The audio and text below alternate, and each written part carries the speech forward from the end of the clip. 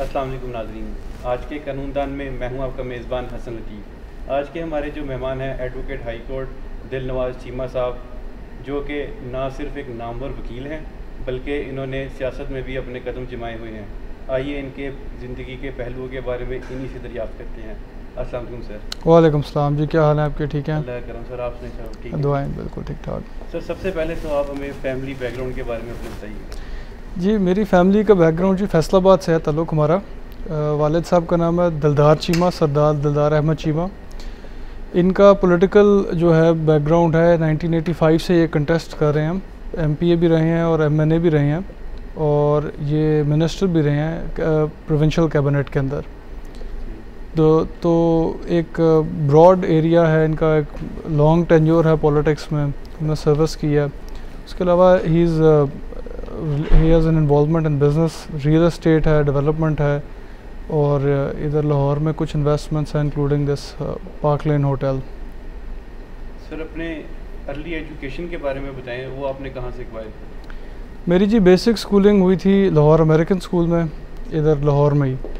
उसके बाद uh, मेरी जो अंडर ग्रेजुएट है वो इंग्लैंड से है यूनिवर्सिटी ऑफ़ वॉरिक जहाँ से मैंने अपनी एलएलबी की है विद ऑनर्स उसके बाद मैंने कॉलेज ऑफ़ लॉ से लीगल प्रैक्टिशनर्स कोर्स किया लंदन से। सर अमूमन हम देखते हैं कि जो स्टूडेंट्स बाहर की यूनिवर्सिटी से लॉ पढ़ते हैं उनको थोड़ी सी डिफ़िकल्टी आती है यहाँ पे लॉ प्रैक्टिस करने में। तो क्या आपके साथ भी ये मामला पेश है नहीं मेरा नहीं ख्याल बल्कि मेरा तो ख्याल इससे बरक्स है। मैं समझता हूँ कि यहाँ पे जो फॉरेन ग्रेजुएट्स होते हैं उनको ज़्यादा मुश्किल नहीं होती है। क्योंकि कॉमनवेल्थ कंट्री है, हम ब्रिटिश इन्फ्लुएंस है लीगल बैकग्राउंड हमारा बहुत रिलेशनशिप है उसका इंग्लैंड के साथ। जो स्टूडेंट्स भी बहुत कॉमन है। तो बहुत बड़ा ट्रांजिशन नहीं है। हाँ ये ज़रूर है कि आपको जो लोकल प्रोसीजर्स हैं सिविल प्रोसीजर कोड है क्रिमिनल प्रोसीजर कोड है, इनमें शायद उतनी फेमिलियरिटी नहीं होती जितने लोकल ग्रेजुएट्स को होती है। इस हद तक एक फ़र्क है। दूसरा प्रोसीजरल चीज़ों में डिफरेंस होगा। But I don't think it's a huge difference बहुत बड़ा फ़र्क नहीं पड़ता। सर, जब आपने लॉ किया तो उसके बाद आपने सी ज्वाइन कर लिया था क्या?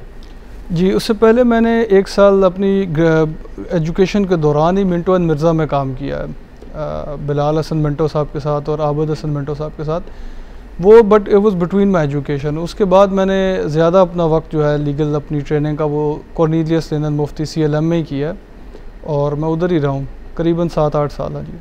तो आप अपनी जो अगर मेंटोरशिप किसी को देना चाहें कि आप किसको मेंटोर समझते हैं? नहीं इसमें तो कोई शाक ही नहीं है जी। मैंने सबसे ज़्यादा काम तो सलमान भट्ट साहब के साथ किया है, जो अटर्नी जनरल भी रहे हैं और पार्टनर हैं सी एल एम में। सीनियर एडवोकेट सुप्रीम कोर्ट भी हैं। I work very closely with him he I would say is my mentor and many others C L M में दूसरे सीनियर्स बहुत ज़्यादा भी थे, उन सबसे सीखा है बट डेफिनेटली भट्ट साहब। सर आप अ, क्या समझते हैं कि ये जो फर्म्स वाला जो कल्चर डेवलप हो रहा है क्या ये जो आइंदा आने वाले स्टूडेंट्स हैं उनके लिए एक बेहतरी बेहतर चीज़ साबित होगी? या फिर ये जो फर्म्स हैं ये सिर्फ़ अ, अपना फ़ायदा देखती हैं और आप देख सकते हैं जैसे एसोसिएट्स और उस तरह पे नहीं किया जाता? हाँ जी। जिस तरह आप अक्सर इंडिविजुअल्स को हम देखते हैं जो जो एक उस्तादी की साइड पे हम जाएँ तो वहाँ पे जिस तरह पे किया जाता है तो आप क्या समझते हैं इन सारे ये सही है आपका कंसर्न क्योंकि हम सारे ही एक ना एक वक्त पे लीगल ट्रेनीज रहे हैं और हम इस प्रोसेस में से गुजरते हैं। ये सबकी एक फ्रस्ट्रेशन है ये एक अनफॉर्चुनेट चीज़ है रियलिटी है। इसको रिजॉल्व करना है बट उसको करने का भी तरीका ये है कि the industry has to develop and blossom like it has abroad देखो बाहर जाते हैं आप क्या फ़र्क है? एक ही दफ्तर के अंदर 400-500 वकील कॉमन है। हमारे यहाँ ऑब्वियसली दफ्तर उतने बड़े नहीं हो सकते उसकी रीज़न ये है कि इंडस्ट्री में एज अ जो हमारी लीगल इंडस्ट्री है ये अभी अप्रेंटिसशिप मॉडल से उस वाले कॉरपोरेट जो है फर्म्स का जो ब्रॉड बेस सर्विस प्रोवाइड कर रही है उसमें ट्रांजिशन नहीं हुआ और उसकी की रीज़न ये है कि उस तरह का इतना काम जनरेट नहीं होता and there isn't that much there isn't that much interest to pay from the client अगर वो नहीं होगा तो तब तक फर्म्स इस तरह डेवलप नहीं कर पाएँगे और अपने एसोसिएट्स को भी नहीं दे पाएँगे क्योंकि इसमें सबसे बड़ा फ़र्क है आप देखें ना जैसा बैंक्स होते हैं। क्यों बैंक्स अपना इतना दे सकते हैं और सैलरी भी इतनी जल्दी कैसे दे देते हैं न्यू इंगेजमेंट्स को और न्यू एम्प्लॉयज़ को? बिकॉज़ उनका टर्न ओवर बहुत हाई है। They can afford the bigger staff they can afford the bigger expenses with a firm with the practice is very different legal practice बहुत फ़र्क है। और हमारे यहाँ अभी तक इंडिविजुअल सेंट्रिक है। फर्म्स में भी इंडिविजुअल बेस्ड प्रैक्टिस होती हैं। तो वो तो इंडिविजुअल ने जब देना तो एक हद तक ही ज़ाहिर है वो आउटले कर सकेगा। सर आपको क्या लगता है कि एक अच्छी अपॉर्चुनिटी है फॉर्म्स के साथ काम करना या दूसरी एक इसके बरक्स हम देखते हैं, लोग ज़्यादातर जो स्टूडेंट्स हैं वो जाते हैं ये उस्तादी की तरफ़ कि एक इंडिविजुअल पर्सन को बड़े नाम को ज्वाइन कर लिया तो उनका सारा काम देखना शुरू कर दिया। बड़ा आपके, आपके ख्याल में क्या है? ये बड़ा अच्छा क्वेश्चन है आपका जी। इसमें कोई राइट आंसर नहीं है। There is no perfect formula बात यह है कि different opportunities give you different results मुख्तलिफ़ अपॉर्चुनिटीज़ और बेनिफिट्स होते हैं। लेकिन ये चीज़ है फर्म्स भी हों हमारे मुल्क में अभी तक ज़्यादातर अभी तक कल्चर जो है लर्निंग का वो अप्रेंटिसशिप मॉडल पे ही है। एंड फ्रेंकली मैं समझता हूँ सबसे इफ़ेक्टिव मॉडल भी है। आप किसी बंदे के साथ मुस्तकिल डे इन डे आउट काम करते हैं, ज़ाहिर है वो उसमें अप्स एंड डाउन होते हैं डिफ़िकल्टीज़ होती हैं, सब कुछ होता है but that's how you learn assignment to assignment you know task to task दूर से किसी को देखना, एक बंदा बहुत अच्छी एडवोकेसी कर रहा है, आप देख रहे हैं दैट हैज़ लर्निंग बट इसका लर्निंग कंटेंट इतना हाई नहीं है नॉट तो value is not that high तो कितना आप सीख लेंगे? You need to be involve in a task day in day out with someone उसमें आप गलतियाँ करते हैं, धक्के खाते हैं, इसी तरह ग्रूम होते हैं। So I think the ideal thing is आपके सवाल का जवाब ये होगा कि the ideal thing is to find someone who you can work closely with who has a lot to teach you I think दफ्तर और फर्म इतना शायद रेलिवेंट या वो प्रायोरिटी नहीं होनी चाहिए। आपको ये देखना चाहिए कि यार, जिस बंदे के साथ मैंने डे इन डे आउट काम करना है, एक तो नंबर वन क्या मेरे साथ कोई ऐसा बंदा चल सकता है? क्या मैं उसके साथ चल सकता हूँ? और नंबर दो, क्या वो मुझे कुछ सिखा सकता है? जिससे भी आप सीख सकते हैं, आपको सीखना चाहिए। सर इसके बाद सीलम के बाद आप as a consultant attorney general के ऑफ़िस में रहे वो कैसा काम था आपके आपके बड़ा अच्छा एक्सपीरियंस था जी। मैं तो हमेशा एडवाइस करूँगा इफ़ एनी वन यंग जो ट्रेनीज़ हैं या लर्नर्स हैं, वो कर सकते हैं। तो ज़रूर ये अपॉर्चुनिटी अवेल करें। एक तो गवर्नमेंट में और गवर्नमेंट सेक्टर में काम करने का एक्सपीरियंस हो जाता है। दूसरा जो हमें मौका मिला था अटर्नी जनरल ऑफ़िस में, क्योंकि आप डायरेक्टली इंगेज हो जाते हैं सुप्रीम कोर्ट लेवल पे और जो इंटरनेशनल मामला हैं, जो डिस्प्यूट्स हैं, उस लेवल पे फेडरल मिनिस्ट्रीज़ के साथ तो it's a very good experience to understand कि गवर्नमेंट के क्या डायनामिक्स हैं और सुप्रीम कोर्ट के जिस तरह हमारे दौर में बहुत बड़ा मुकदमा उस वक्त चल रहा था, अठारहवीं और इक्कीसवीं तरमीम का मिलिट्री कोर्ट्स का तो that is an unforgettable experience maybe even for the senior counsel मैं तो चलो जूनियर था, लेकिन जो सीनियर थे, उनके लिए भी शायद यादगार है क्योंकि फुल बेंच था बहुत डायनामिक बेंच था उसमें कॉन्फ्लिक्ट ऑफ़ व्यूज़ था it was a very rich judgment बहुत डाइसेंट्स थे।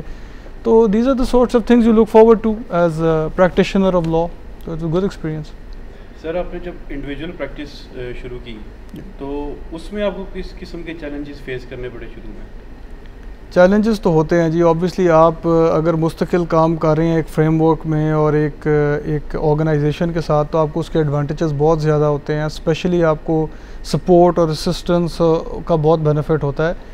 So when you go off on your own तो इट्स लिल बिट डिफ़िकल्ट और मैंने तो आम जो ट्रेंड है, उसे भी अलहदा किया है। मैंने तो किसी के साथ उस तरह पार्टनरशिप भी नहीं किया। Was the sole practitioner and then I had obviously team with me तो it's very difficult the hardest thing I think of that is to you know kind of find your own way obviously client rapport build करना deliver करना task complete करना। All of these things are challenging but again आपको मैं कहूँगा कि जो आप चीज़ इस प्रोफेशन में you have to go through it to learn it आप जितना उसमें से जाएँगे, करेंगे, उतना ही आप लर्न करेंगे. So in that perspective it's also been some of the best learning sir आप इंडिविजुअल प्रैक्टिस भी कर रहे हैं तो इसमें आप किस तरह का काम लेते हैं? सिविल लेते हैं क्रिमिनल या हमारा काम ज़्यादातर है जी कॉरपोरेट कमर्शियल जिसको आप कह सकते हैं। Most accurately corporate commercial litigation है। That's constitutional litigation mostly government regulators act जो रेगुलेटरी डिस्प्यूट्स होते हैं नोटिस हो गए लेजिस्लेशन होगी, उसके मतलब but generally mostly we advise businesses so commercial advice होती है हमारी। सर जैसे अभी आपने मेंशन किया कि that you are doing the constitutional litigation as well So, do you think that there are any uh, need of reforms in the constitution in in this in today's world? Aji, this Pakistan? this is a very pertinent question and obviously it's a very broad discussion तो शायद इस वक्त तो पूरी मुकम्मल ना हो सके लेकिन मैं ये ज़रूर कहूँगा इस मौके पे क्योंकि एक I am obviously legal background तो है मेरा but I am also involve in politics and I have been involve in politics so I feel मेरी एक सेंस है that I think the public are now very much interested कि कोई ना कोई सिस्टमेटिक चेंज हो। Maybe it's not just enough के parties change हो। I think people are interested to to see if the system can be change and if there is a better system available to us and I personally think it's a very बड़ी pertinent debate है discussion होनी चाहिए इस पर because any system of government is a system made by man ये कोई भी चीज़ देखे ना रिलीजियस डॉक्ट्रिन से तो उस तरह नहीं ना, ये कॉन्स्टिट्यूशन है, मुल्क बनाते हैं, मुल्क बदल देते हैं। पाकिस्तान के भी कई कॉन्स्टिट्यूशन रहे हैं, ठीक है? और कई मुल्कों के दूसरों के भी रहते हैं, बदल जाते हैं। ये 73 का कॉन्स्टिट्यूशन है। This is not a constitution as such that Quaid Azam has given us ये लामा इकबाल और कायद अज़म ने तो नहीं बनाया ना अनलाइक द अमेरिकन एक्सपीरियंस जिसमें founding fathers let down the framework for the constitutional setup of the country हमारे यहाँ तो ये नहीं हुआ। सो ये पॉलिटिकल एक एवोल्यूशनरी प्रोसेस के थ्रू कॉन्स्टिट्यूशन डराइव हुआ है जो इस वक्त हमारे पास है। Nothing to say against this I am just very much in favour of a debate I think we need to have a debate because system is not country is not working I think one thing I have learn मतलब this is something I heard from someone who directly working with Quaid Azam उनसे मैंने directly ये सुना हुआ है is very senior lawyer he told me personally that Qaid Azam, I think there's been articles about this as well, that Qaid Azam was not interested in the parliamentary democracy. Qaid Azam was more interested in presidential system of government closer to जो de Gaulle का था in France so I think ये चीज़ें हैं जो हमें explore करनी चाहिए कि the founder of the country what kind of system did he want हमें सोचना तो चाहिए अगर वो पार्लियामेंट्री डेमोक्रेसी के फेवर में नहीं थे और वो ब्रिटिश पार्लियामेंट्री डेमोक्रेसी के फेवर में नहीं थे कायद अज़म तो हमें ये तो ज़रूर as a country as a nation एक डिस्कशन करनी चाहिए कि आखिर वो क्या चाहते थे। और जो वो चाहते थे, क्या हम वो कर रहे हैं और उसमें क्या फ़र्क है, क्या फ़ायदा क्या नुकसान not we should be bound हम सोच सकते हैं अपने तौर पर भी। बट मेरा मकसद ये है बात करने का कि इस पर डिस्कशन होनी चाहिए। आपने बात की कि what should be different I definitely think देखें, हमारे यहाँ जो सबसे बड़ा पॉलिटिकल इस प्रोसेस का प्रॉब्लम है ना the parliament is not doing what the parliament needs to be doing the parliament is there to legislate. ठीक है, आपको ये बात समझनी पड़ेगी कि कानून जो है, जो पार्लियामेंट है, मस्जिद शुरा, इस पर तो खैर किताब भी है, जस्टिस फजल करीम की, वो पढ़ सकते हैं change is the only constant बड़ी डिस्कशन है कि तो लफ्ज़ ही गलत है, मस्जिद शुरा इसका नाम ही नहीं होना चाहिए, खैर, वो एक अलग डिबेट है। जिस भी ईवान ने कानून साजी करनी है अगर उसने कानून साजी करनी है तो उसमें वो लोग होने चाहिए जिनकी एक तो नंबर वन दिलचस्पी हो इस मौजू में, कि भाई कानून क्या होना चाहिए मुल्क का और कैसे होना चाहिए। और दूसरा, उनके अंदर काबिलियत होनी चाहिए, वो इतने अहल होने चाहिए कि वो कानून साजी पर कुछ अपनी राय दे सकें। हमें ये गौर करना पड़ेगा, बदकस्मती से कहना पड़ता है कि इस वक्त और ये किसी भी किसी एक फ़र्द के ख़िलाफ़ नहीं है, ये बदकस्मती से हम भी सारे उसका हिस्सा हैं, एक सिस्टम है। एक सिस्टम ऐसा डेवलप हो गया हुआ है जिसमें जो पार्लियामेंट है, जो सूबाई असम्बलीज़ हैं, इसमें कानून साजी की वो जो रिक्वायरमेंट है वो पूरी नहीं हो रही है और जो इसमें मेम्बरान भी जाते हैं मोज़ मेम्बरान हैं, उनकी भी प्रायोरिटीज़ या उनकी भी जो जहनीत है वो इस तरफ़ गेड नहीं है कि इसके अंदर लेजिस्लेशन क्या होगी, कानून, का, और दूसरा इनकी गलती भी नहीं है। कानून साजी हमारे मुल्क में तो होती है पार्टी हेड्स के ज़रिए से। और यही कल्चर है। पार्टी हेड ने कोई बिल अगर कह दिया है तो वो पास होकर ही रहता है। उसमें डिबेट की तो कोई कम ही गुंजाइश है। गवर्नमेंट जो है वो हमेशा वोट करती है, बिल के फेवर में अपोजिशन हमेशा ख़िलाफ़ कर देती है। बात करने का मकसद ये है कि जो पार्लियामेंट का सेंट्रल फ़ंक्शन है, वो परफॉर्म नहीं हो रहा। तो हमें ये इसको रिकन्सिडर करना है कि how do we make law number one दूसरा, हमें जो लीडरशिप है, वो लेके जानी है लोकल लेवल पे। That is far more effective political process में से गुजर के मेरा तो अपना एक्सपीरियंस है, आप किसी से बात करेंगे, आपको ये कहेगा, हमारे जो देहात में और ज़्यादातर मुल्क तो देहात है ना, देहात में जो लोग वोट देते हैं, वो इस चीज़ के लिए नहीं देते कि हमारा नुमाइंदा जो है जाके असम्बली में हमारे लिए फ़लाना बिल पास करेगा। उसको इस चीज़ से कोई दिलचस्पी नहीं है। उनको चाहिए एक लोकल लीडर जो उनके वहाँ के लोकल मसाइल हल करे, उनको पुलिस में, ज़मीन के, थानों के, उनकी दिलचस्पी इस चीज़ से है। तो हमें ये देखना है कि क्या हम इस चीज़ को सही तरह रिफ्लेक्ट कर रहे हैं सिस्टम में? जिन लोगों को जिस चीज़ से दिलचस्पी नहीं है तो सिस्टम उस तरह बनाया क्यों है? I think the solution is कि आप लोकल गवर्नमेंट स्ट्रॉन्ग करें, जो लोकल लीडरशिप है, उनको फाइनेंसिस की और रिसोर्स की जो है कैपेबिलिटी दे दें। At the local level chairman है, ज़िला चेयरमैन है, दूसरा है, जो भी है, वहाँ पर अरेंजमेंट कर दें। वो फंड भी डिस्पर्स करे लोकल इश्यूज़ को भी देखे, सारा मैनेज करे। और जो लेजिस्लेटिव एक्शन है, जो लेजिस्लेटिव आपका फ़ंक्शन है दैट शुड बी रिमूव्ड वो आपको फिर एक अलहदा बॉडी उसकी बनानी चाहिए। और people who are capable who understand जिनका दिलचस्पी है, जिनको इंटरेस्ट है कि मुल्क के कानून के, और उस पर बहस हो, और पार्टी लाइन्स पे ना भी हो, खुली बहस हो तो ये शायद इम्प्रूवमेंट हो सकती है। खैर, और भी बहुत चीज़ें हैं, या तो मुख्तसर एक बात हम कर सकते हैं। सिस्टम अगर हम देखें हमारा जुडिशियल सिस्टम में हम देखते हैं लिटिगेशन बहुत टाइम टेकिंग प्रोसेस बन गया और थोड़ा एक्सपेंसिव भी हम इसको कह सकते हैं क्योंकि ये टाइम टेकिंग है। सर इसमें कोई रिफॉर्म्स लाने की कोई चेंजेस आने की कोई ज़रूरत है? अगर हैं तो फिर आप थोड़ा सा जी जी। एक्चुअली ये मेरे लिए तो बहुत ही दिल के करीब है क्योंकि जब से हम प्रैक्टिस में आए हैं तब से यही देख रहे हैं कि एडजमेंट्स और जितने भी लिटगेटर्स हैं बेचारे उनका भी फेडअप मतलब बंदे फ्रस्ट्रेट हुए थे। तीस तीस पैंतीस पैंतीस साल मुकदमे चल रहे हैं। हम्म।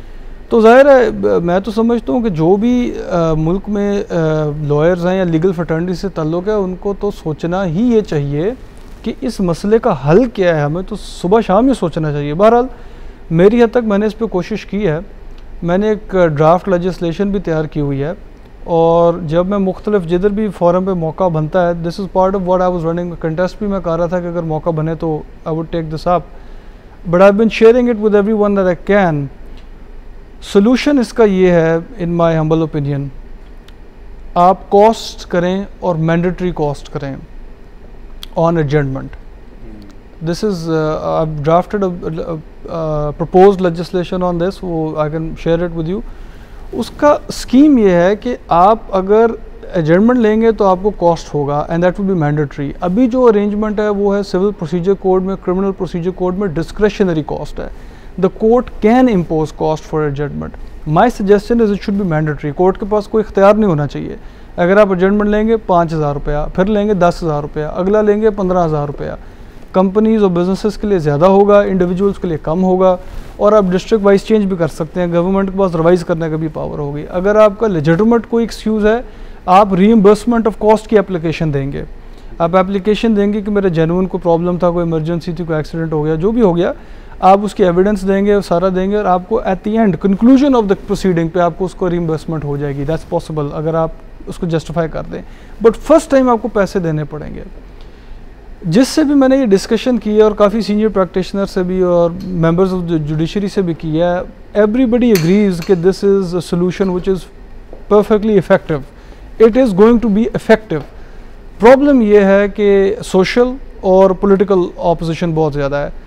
हमारी अनफॉर्चुनेटली ज़्यादातर एक्सपेक्टेशन भी यही है कि लीगल फ्रटर्निटी में से ही इसकी अपोजिशन होगी इस तरह की रिफॉर्म की।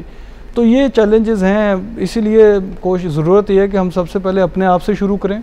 हम अपने आप को गियर करें कि हमने सिस्टम को इम्प्रूव करना है। अगर सिस्टम इम्प्रूव होगा तो लॉयर्स की भी जो है वो उसको बेनिफिट होगा इनको नुकसान नहीं होगा इस चीज़ का।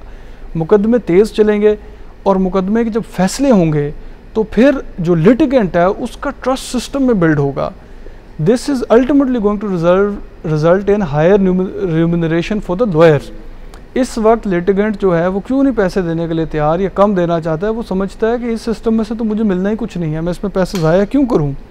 लेकिन जब उसको यकीन हो जाएगा कि एक या डेढ़ साल के अंदर मुकदमे का फ़ैसला हो जाना है, वो फैसला जैसा भी हो, उसकी तो अपील भी है, आगे भी है, लेकिन अगर उसको पता हो कि फ़ैसला होना है वो फिर वकील को भी और उस प्रोसेस को भी ज़्यादा अहमियत देगा और सिमिलरली उसके लिए इन्वेस्ट करने के लिए ज़्यादा तैयार होगा, जिसका बेनिफिट लॉयर्स को भी होगा। सर, ये हम आए दिन ये भी देखते हैं कि स्ट्राइक्स होती हैं वकीलों की तरफ़ से। पिछले दिनों जुडिशरी जुडिशल साइड से भी स्ट्राइक चल रही थी। तो इन चीज़ों को कैसे कैटर किया जा सकता है? ये बड़ा ज़रूरी है जी, ये बड़ा एक पर्टनेंट क्वेश्चन है इस वक्त का। मैं तो अपील कर सकता हूँ अपने कॉलीग्स को, जो लॉयर्स हैं, सब डिस्कशंस भी करते हैं। मेरा ख्याल है कि बाकी इदारों को और इंस्टीट्यूशंस को और उनकी खामियों को अपनी जगह पर छोड़ के हमें थोड़ा सा अपनी तरफ़ भी देखने की ज़रूरत है, गौर करने की ज़रूरत है। और ख़ासकर जो यंग जनरे, यंग जनरेशन लॉयर्स की है, मैं इनक्रेज करूँगा कि देखें, हमारे पास यहाँ से दो रास्ते हैं। हम दो रास्तों पे जा सकते हैं। या तो हम बिल्कुल ही बेलगाम दौड़ते चले जाएँ और ये चीज़ आगे से आगे बढ़ती चली जाए और ये जो आए दिन स्ट्राइक्स भी हैं, दूसरे भी हैं वायलेंस भी हो जाती है और हर तरह के आपको पता है मामला होते हैं और ये भी है। दूसरा ये कि हम अपने आप को रेन इन करें कंट्रोल करें, अपनी पावर अपनी जो हमने एक मूवमेंट और अपनी फर्टर्निटी बिल्ड की है, इसको महफूज रखें, इसको इकट्ठा रखें, अपनी यूनिटी रखें, बिल्कुल। दैट्स अ वेरी इंपॉर्टेंट अपना मुल्क के लिए कॉन्स्टिट्यूशन के डिफेंस के लिए बड़ा ज़रूरी है। लेकिन हमने ये भी देखना है कि हम इसका अपना खुद जो है, वो एक्सट्रीम पे ना चले जाएँ। तो स्ट्राइक्स का तो देखें ना स्ट्राइक्स का तो नुकसान सबसे ज़्यादा लॉयर को होता है। जो डे टू डे लॉयर्स हैं, क्योंकि मेरा फैसलाबाद से भी पॉलिटिकल ताल्लुक है तो मुझे पता है फैसलाबाद तो काफ़ी अर्सा बेंच की स्ट्राइक्स के लिए तो महीनों तक, महीनों बंद रहा है। कई डिस्ट्रिक्ट्स बंद रहे हैं। तो अगर आप वहाँ पे लोकल लॉयर्स को पूछेंगे तो वो कहेंगे सबसे ज़्यादा नुकसान तो हमें हुआ है जो डे टू डे चलते हैं जो बेल्स के लिए स्टेज के लिए जिन्हें पेश होना होता है। तो दे वो तो हर्ट होते हैं उनका तो डे टू डे हर्ट होता है। ज़ाहिर है ज़्यादा सीनियर लॉयर या जो ज़रा ज़्यादा कंफर्टेबल हैं वो सर्वाइव कर जाते हैं। सो so, स्ट्राइक जो है देखिए स्ट्राइक एक बहुत बड़ा वेपन है एक बड़ी इफ़ेक्टिव चीज़ है एक सोशल उसको अपना ऑब्जेक्शन शो करने के लिए इट्स अ पावरफुल टूल लेकिन एक चीज़ जो है ना थ्रेट या एक जो एक्शन है, कोई भी रेट्रीब्यूटिव एक्शन तब तक पावरफुल है जब तक उसकी एक वैल्यू है या उसकी जब तक एक, उसके अगले के जहन में उसकी एक थ्रेट मौजूद है। अगर आप रोज़ाना करेंगे, उससे तो उस चीज़ की वैल्यू या उस चीज़ की जो फैक्टर है of creating to halt the thinking process वो तो डेल्यूट हो जाती है, बाहर आए रोज़ अगर आप स्ट्राइक करेंगे, अदालतें बंद कर देंगे तो ज़ाहिर है उस चीज़ की इफेक्टिविटी तो बहुत ख़त्म हो जाएगी ना। तो हमें ये चीज़ भी सोचने की ज़रूरत है। सर, हम आजकल देख रहे हैं कि जुडिशल साइड भी हमारी और कुछ लोग भी डिजिटल कोर्ट्स वाला सिस्टम इंट्रोड्यूस कराना चाह रहे हैं पाकिस्तान में। आपका क्या ख्याल है इस बारे में? मैं इसके हक में हूँ, बड़ा अच्छा दूसरे मुल्कों में तो हो रहा है, ख़ासकर आजकल जिस तरह आपको पता है कोविड और दूसरी चीज़ें हैं कंसर्न्स आ रहे हैं तो और ख़ास अगर अगर इससे इम्प्रूव हो सकता है और बैकलॉग या केस की जो पैरवी है और उसकी जो समात है, उसमें अगर कोई इम्प्रूवमेंट हो सकती है, उसका तो हर हरबा हमें इस्तेमाल करना चाहिए। कोई चीज़ हमें नहीं छोड़नी चाहिए।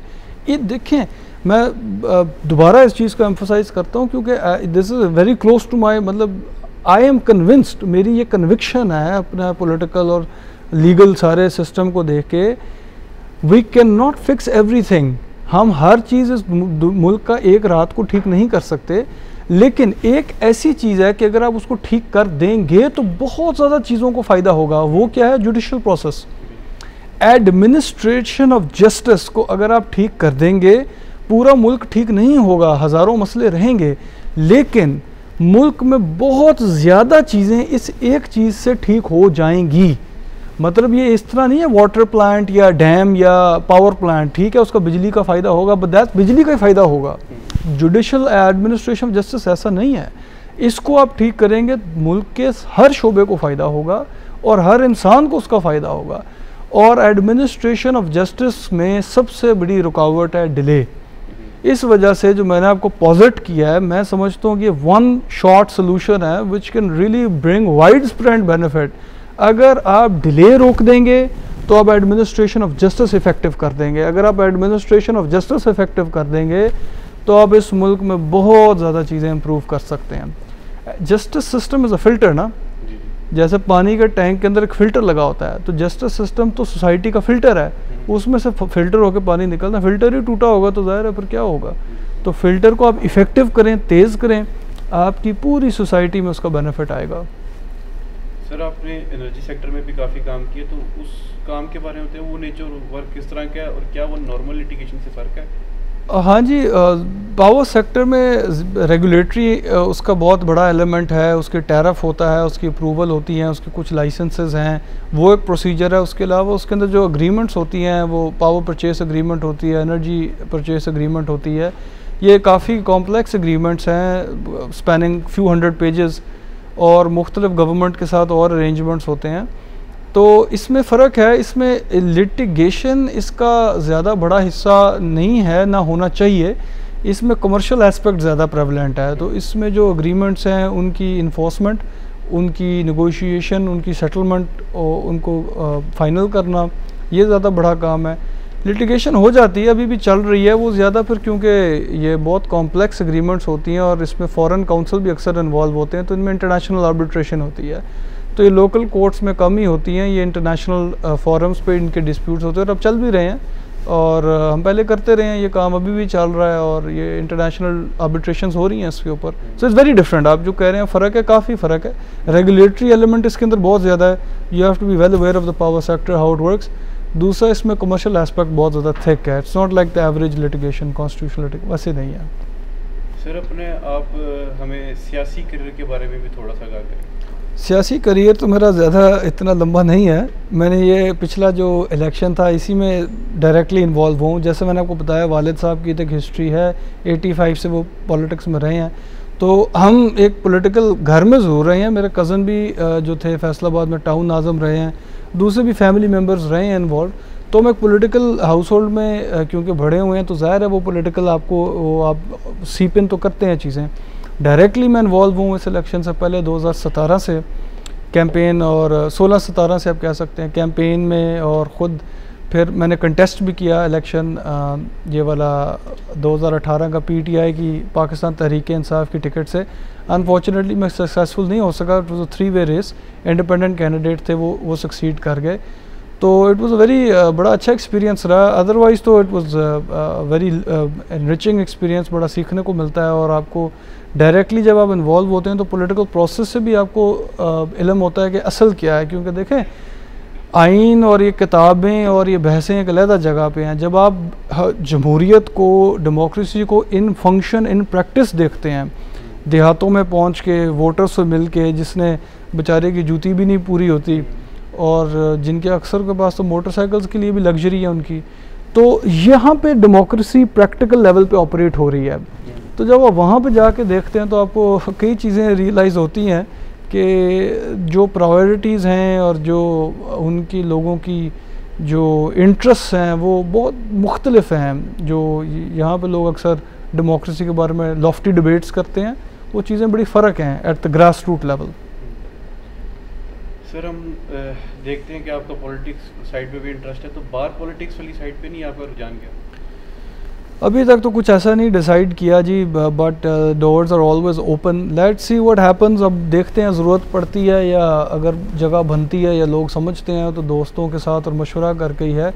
बट वील सी लेकिन I am I am conscious of one thing और मैं दोस्तों से भी डिस्कशन करता हूँ कि देखें, एक तो शायद मेरा natural inclination I always been drawn to try to make a difference improve something and I am not the only one ये को मेरी खासी, आप सब लोग बैठे हो। हम सब एक मुल्क में ऐसे में बढ़े हुए हैं जिसमें बहुत नुक्स हैं। तो कोई इसमें कमाल नहीं है, हर बंदा ये सोचता है इस वक्त कि इसमें क्या बेहतर हम कर सकते हैं, हर बंदा सोचता है। तो उसमें अगर कोई कर सकें या कोई इसमें कंट्रीब्यूशन हो सके तो I would definitely try my level best अब तक भी मैं करता रहूँ and it should be selfless देखो, इसमें ये नहीं होना चाहिए कि मेरा नाम आए और मैं ही हो जाऊँ। जो आपके पास बेनिफिट के लिए आपके पास मेजर्स हैं सजेशंस हैं मैं तो बिला वो सोचे समझे शेयर करता हूँ, जिसको देना, दे सकता हूँ, देता हूँ कि यार आप कर लें, आप ये अपनी तख्ती लगा लें, लेकिन कुछ कर दें, लोगों के लिए मिजरेबल हालात तो बहुत बुरे हैं। सर हम देखते हैं आपका लॉ लॉ फ़ील्ड भी आपके पास है आप पॉलिटिक्स भी देख रहे हैं और आप बिज़नेस भी चला रहे हैं पार्क लेन होटल जैसे आपका है। तो ये तीनों को कैसे लेकर चलते हैं साथ कैसे हैंडल कर रहे हैं? इट इज़ डिफ़िकल्ट लेकिन इसमें ये है कि बिज़नेस साइड पे मेरी कम इन्वॉल्वमेंट है। मेरे बड़े भाई हैं Sarfaraz sahab he is the one who is mostly responsible and my father Cheema sahab खुद भी देखते हैं सारे मामला को बट मेरी इसमें कम इन्वॉल्वमेंट है mostly involve in the legal side but between law and politics even तीसरी चीज़ तो खैर बहुत ही मुश्किल हो जाती। दो चीज़ों में भी बहुत मुश्किल है। आप स्पेशली जब मैं खुद प्रैक्टिस मेरी अपनी है एंड खुद कैंडिडेट भी हो आप तो आपने टाइम देना है कॉन्स्टिट्यूंसी को भी प्रैक्टिस को भी और इट वेरी चैलेंजिंग वक्त अपने लिए बहुत कम बचता है। ट्रैवलिंग बहुत ज़्यादा है। कोर्ट में आपको पता है अर्ली मॉर्निंग स्टार्ट होता है। Late hmm. नाइट जो है क्लोज़ होता है। तो वो एसोसिएट्स को, मेरों को, सारों को पता है ये चीज़ it's not easy and if you do it professionally और अगर विगरसली काम करते हैं तो बहुत मुश्किल होता है. सो इट्स अ चैलेंज कोई इसका सोल्यूशन नहीं है, हल नहीं है. चैलेंज है ये. सर दोनों फ़ील्ड से आपको रेसिप्रोकली कोई फ़ायदा होता है कि जैसे पॉलिटिक्स साइड से केसेस आ गए या फिर लीगल फर्टर्निटी से आपको पॉलिटिक्स में कोई फ़ायदा हो गया? क्या ये चीज़ें आपके आती हैं सामने? इसका तो फ़ायदा इस तरह तो पता नहीं बट ये ज़रूर है कि ये दोनों जो प्रोफेशन या लाइंस हैं हिस्टोरिकली इंटरट्वाइंड हैं। ये बहुत क्लोजली वेड हैं एक दूसरे के साथ, जो है ना पॉलिटिक्स और लॉ और मैं समझता हूँ उसकी प्रॉब्ली सबसे बड़ी रीज़न ये है कि कॉमनलिटी बहुत ज़्यादा है। कॉन्स्टिट्यूशनैलिटी है, उसमें लीगल इन्फोर्स पॉलिटिक्स में भी तो देखें क्या है ना कॉन्स्टिट्यूशन है कॉन्स्टिट्यूशन इन्फोर्समेंट है इंस्टीट्यूशन है इंस्टीट्यूशन का फ़ंक्शन है। तो ये सारी चीज़ें तो लॉ के साथ क्लोजली रिजेंबल और रिलेट करती है। तो law feeds very well into politics and I think if you're a lawyer doing politics तो आपको बहुत एडवांटेज है। You understand the system better और पॉलिटिकल लॉयर को बेनिफिट प्रैक्टिस में मेरा नहीं ख्याल कि शायद उस तरह होता है जिस तरह शायद आप कहना कह रहे हैं कि बिज़नेस में उतना बेनिफिट तो शायद नहीं होता बिकॉज़ जो वोटर्स होते हैं they're not looking to pay voters जो होते हैं they're looking to get you to serve them तो वो शायद उस तरह इतना बेनिफिट नहीं होता बट uh, इसको समझने में फ़ायदा ज़रूर होता है सिस्टम को। सर कोई मैसेज आप हमारे जो यंग लॉयर्स हैं जो अभी भी फ़ील्ड में आते हैं yeah. जो कि अगर सच कहा जाए थोड़े से घबराए हुए होते हैं। हाँ जी हाँ जी। उनके बारे में कोई आप मैसेज देना चाहें हाँ मैं यही मैसेज देना चाहता हूँ जी कि देखें एक तो चैलेंजेस हैं ये तो हम सबको पता है। हमारे प्रोफेशन में हम सब इस प्रोसेस में से गुजरे हैं। लेकिन मैं एक फ़ील कर रहा हूँ जितना मैं ज़्यादा यूथ और यंगर लॉयर से डिस्कशंस करता हूँ कि एक बहुत ज़्यादा जो है ना नेगेटिव उनके अंदर जो है प्रवेल कर रहा है सेंटिमेंट सिस्टम डिफेक्टिव है कोई फ़ायदा नहीं है और ये वो। तो मैं समझता हूँ कि इस चीज़ को ना इसमें गिवन नहीं करना चाहिए। If you're a young lawyer आप मेरी बात सुन रहे हैं तो इसमें गिवन ना करें। ये हैं अपनी जगह पे चैलेंजेस भी हैं सिस्टमेटिक प्रॉब्लम्स भी हैं that's there having said that हकीकत ये है कि बहुत ज़्यादा चीज़ें अपनी जगह पे ठीक भी चल रही हैं और हमारी एक एटीट्यूड बनता जा रहा है as a nation every is bad सब बुरा सब बुरा, मर जाए मर जाए, ऐसे नहीं है। बहुत ज़्यादा जो है लोग प्रोफेशनली काम कर रहे हैं। गवर्नमेंट में भी ऐसे लोग हैं जुडिशरी में भी बिल्कुल। मैं कहूँगा कि आप ये रवैया या तस्वर नहीं लेके चलना चाहिए कि बिल्कुल होपलेस है, ऐसा नहीं है। यंग लॉयर्स को भी रिस्पॉन्स मिलता है। अगर आप एफर्ट करें, मेहनत करें you do your work professionally आप खुद मेहनत करके जाएँ कोर्ट में अपियर हों प्रेजेंट करें यू कैन गो मैं तो हमेशा मिसाल देता हूँ, इसमें कौन सी ढकी छुपी बात आप किसी दिन अदालत में चले जाएँ, हाई कोर्ट में, किसी कोर्ट में चले जाएँ, आप देखेंगे, इंसाफ हो रहा होगा एंड मजॉरिटी बल्कि almost all of the time I think you तो क्या मार्जिनल केसेस हर जगह होते हैं, ये नहीं है। But by and large I don't think there is anything there for which we should be completely hopeless के अब कुछ रहा ही नहीं, ऐसा नहीं है। और जो चीज़ इम्प्रूवमेंट की है, वो मैंने कहा है मेक दैट माइंड आप कि हम इम्प्रूवमेंट कुछ करें लेके आएँ in practical terms lofty discussions में नहीं लिखें सोचें बनाएँ अपनी सजेशंस शेयर करें उसके ऊपर जो कॉमेंट्स और क्रिटिसिज्म है उसको एक्सेप्ट करें और इम्प्रूव करें। This is the way to do it thank you sir that will be all thank you very much